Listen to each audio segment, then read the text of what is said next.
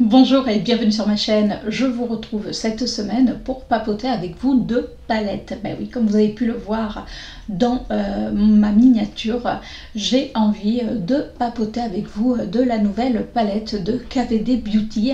Mais avant de commencer cette vidéo, je vous montre ce que je porte sur les lèvres et aujourd'hui, je porte un rouge à lèvres de Kat Von. C'était avant KVD Beauty, donc c'était vraiment les rouges à lèvres de Kat Von. Et là, je porte la teinte Santa Sandra.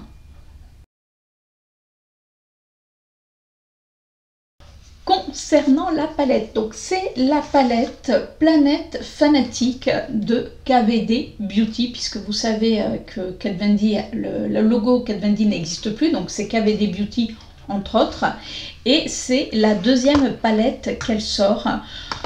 Donc elle se trouve dans un packaging en carton, on va dire traditionnel. Donc elle est euh, vegan. Par contre, il ne marque pas si elle est cruelty free. Donc je ferai mes recherches et je vous mettrai ça juste là si elle est cruelty free. quand on la sort de son carton, on retrouve ce style de palette qui est complètement recyclable. Donc c'est du plastique. Alors vous savez moi à quoi ça m'a fait penser? Ça m'a fait penser à certaines anciennes palettes euh, de chez Catrice. Vous savez les marques très très peu chères. On la trouve sur le site entre autres de Sephora. Elle est quand même au prix de 46 euros oui ce qui est quand même pas donné. Voilà. Et on a dedans 14 fards qui font chacun 1,3 g donc là voici ça c'est l'intérieur, donc bien sûr on n'a pas de miroir. Et quand on regarde le derrière de la palette on retrouve la couleur euh, des phares avec leur nom. Alors comme je vous disais c'est sa deuxième palette.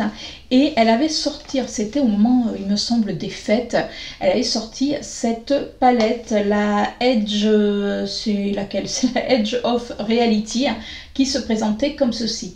Alors franchement, même si c'est du carton, je trouvais ça beaucoup plus qualitatif et beaucoup plus joli que ce packaging qui est en, en plastique. Alors oui, on a des petites étoiles, super. Ça fait presque, vous savez, penser... Enfin, le packaging, je le trouve quand même pas euh, terrible. Bon, voilà, après, euh, vous allez me dire, c'est du moment où ce qu'il y a dans la palette de play, c'est le principal. Oui, mais on peut pas dire que ça soit quand même là un bel objet. objet.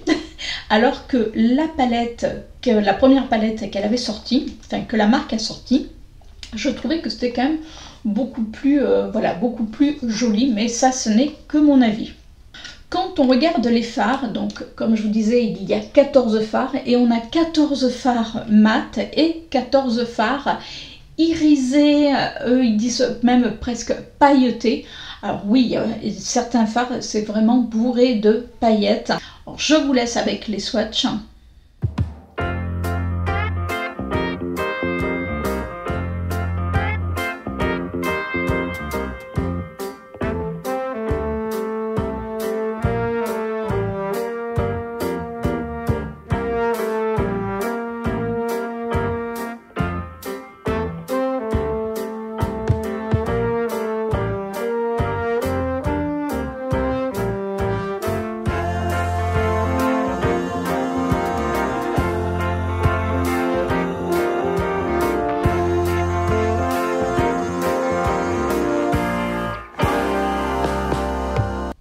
Pu voir que dans les swatchs euh, des couleurs qui sont euh, pailletées, euh, la pigmentation est vraiment bonne. D'ailleurs, je vous ai réalisé un début de maquillage avec cette palette puisque j'ai fini par la suite, mais je vous ai pas repris. Je voulais juste vous montrer l'application de certains fards.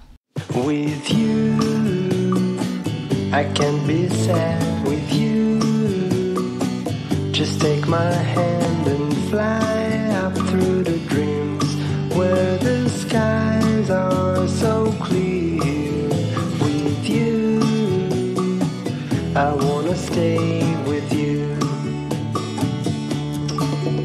With you, I love the way that you love me today. Let's run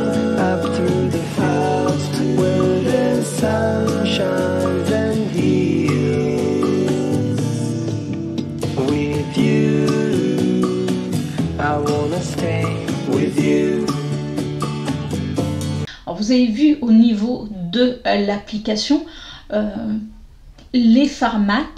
Hmm. Voilà. Moi, je suis restée sur ma faim.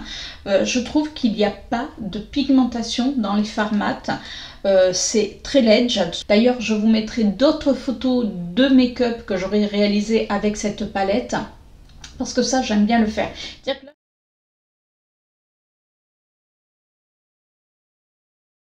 C'est-à-dire que là, je vous donne mon, avis. C'est-à-dire que là, mon avis est déjà fait sur cette palette.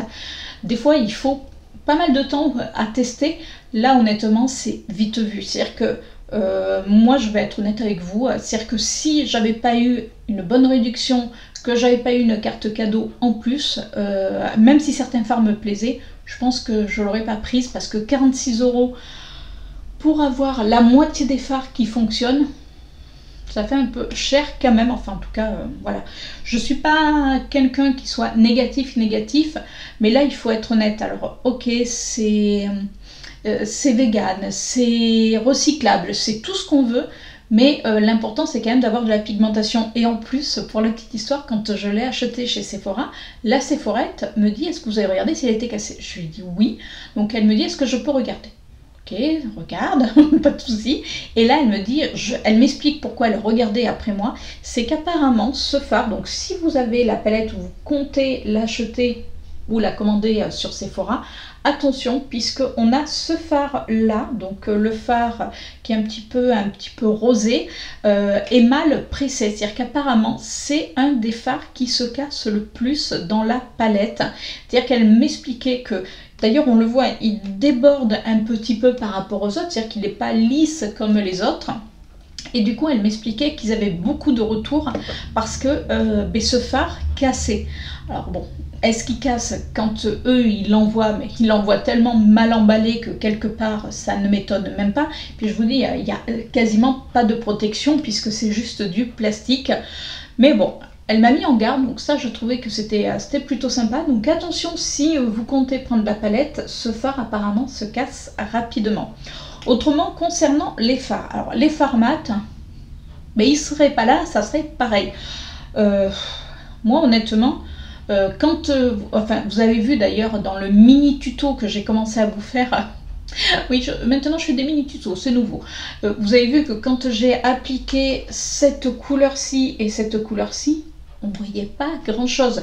Alors j'ai pas mis de base spécifique, je mets toujours la même chose, bon deux en un de chez Essence, donc euh, ça va pas faire ressortir les phares. Alors je vous montre, c'est-à-dire que quand on le prend, donc on va reprendre, allez, on va prendre celui-ci que j'ai utilisé.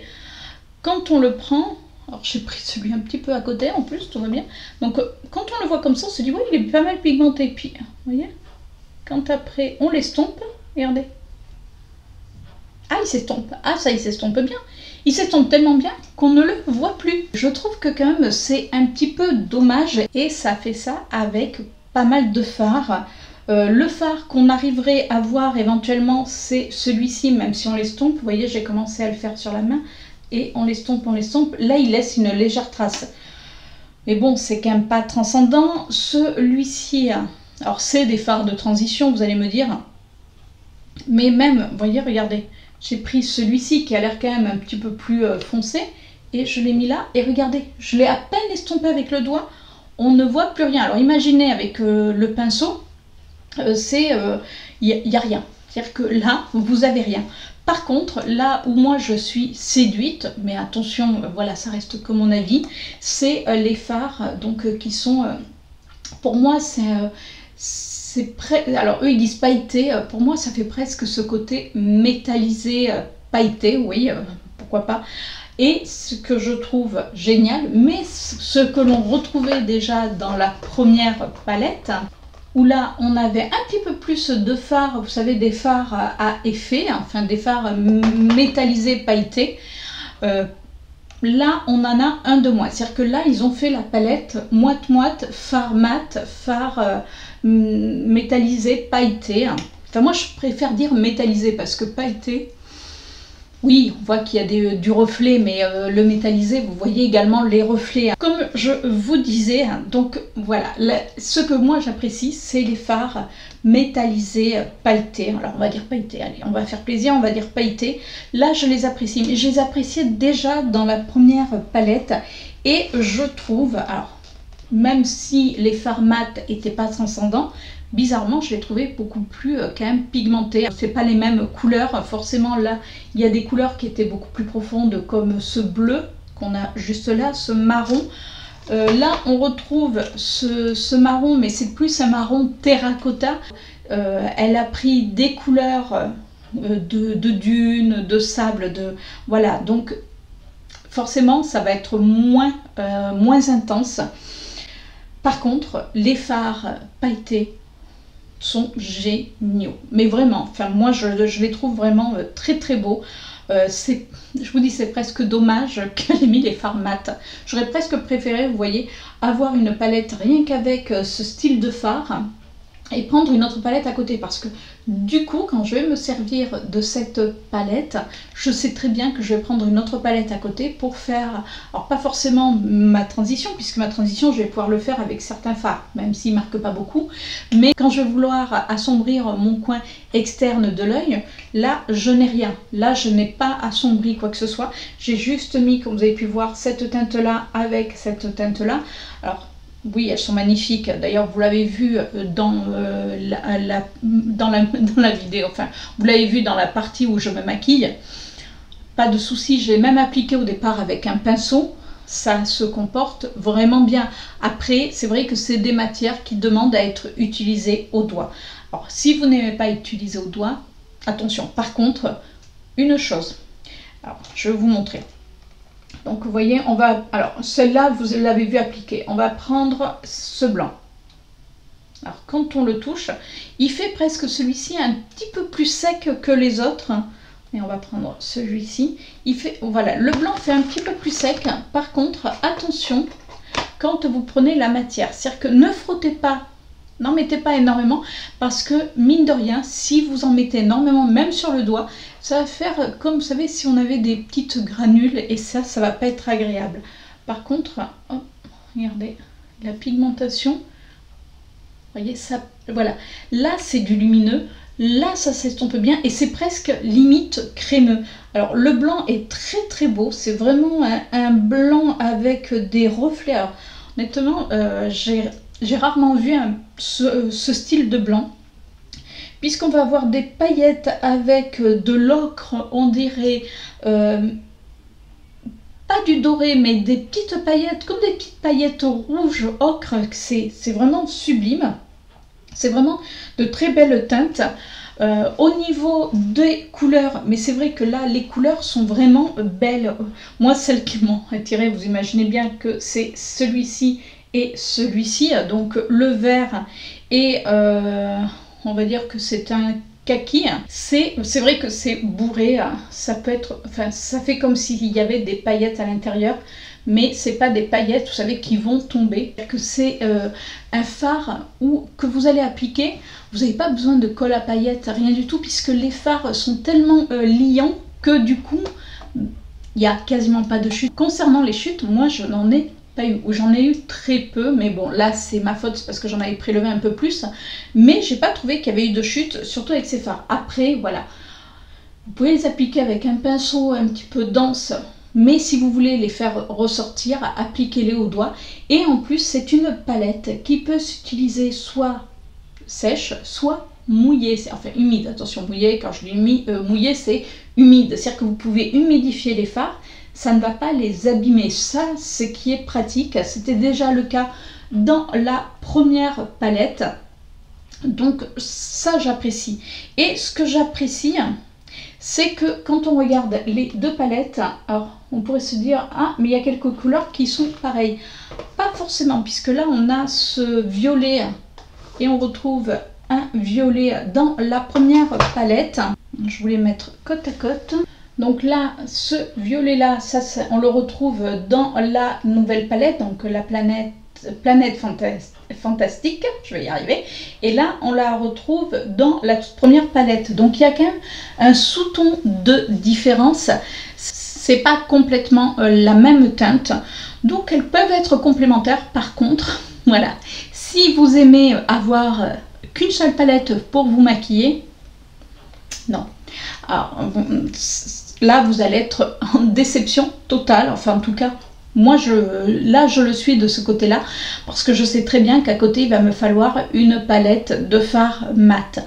Parce qu'on ne peut pas faire que des euh, maquillages avec de l'irisé. Alors, pourquoi pas de temps en temps, mais certaines couleurs, ça va pas être terrible. Là, même si j'ai réussi à réaliser ce maquillage-là, parce que je vous dis, le vert et euh, ce, ce kaki, je l'ai vraiment fait remonter dans mon creux de paupière, mais en estompant avec ce fard-là. Alors, je vous dis, il faut y revenir quand même plusieurs fois pour pouvoir avoir un petit peu d'intensité. Je vous dis bien un petit peu d'intensité. Donc, qu'est-ce que je pense réellement de cette palette? Voilà, vous savez, ce que j'en pense. Même si euh, je trouve qu'elle est quand même elle est quand même jolie quand on la voit, voilà. Les fards pailletés irisés sont... Les fards pailletés, presque métallisés, sont magnifiques. Je vous dis, on dirait de la crème quand on applique le doigt. Oui, là, il y aurait... Je vous dis, il y aurait que cette texture-là. Franchement, moi, j'aurais adoré. Les teintes euh, mates, pour moi, ne servent à rien.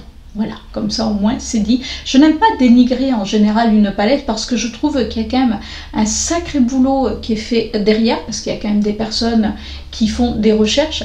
Mais là, je trouve que quand même c'est un petit peu dommage.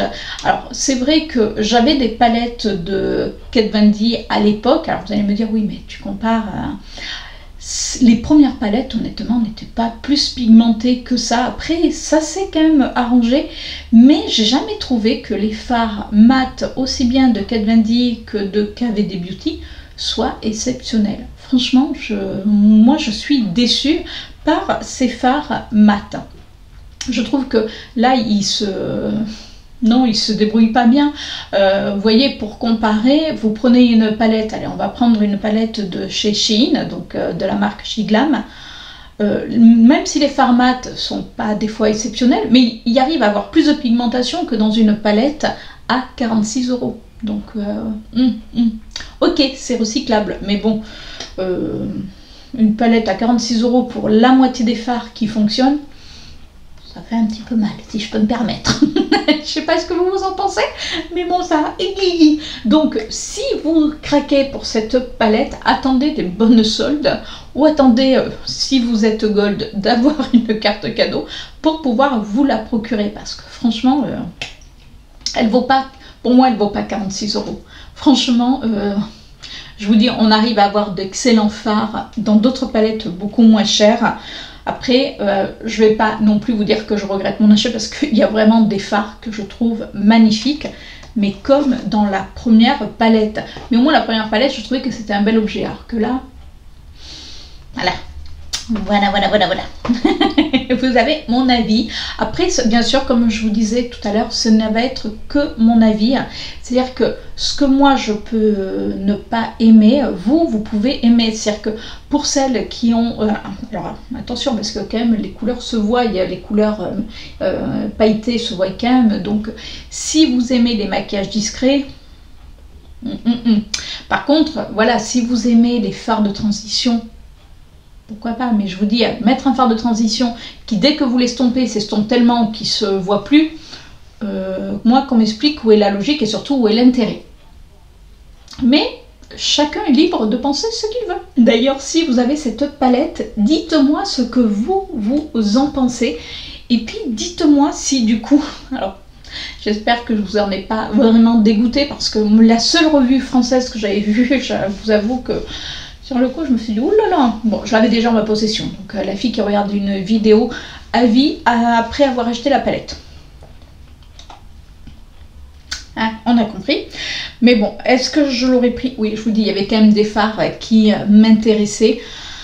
Voilà, et puis ça a été la bonne occasion. Euh, voilà, entre une carte cadeau qui me restait, qu'il fallait absolument que j'utilise et la réduction.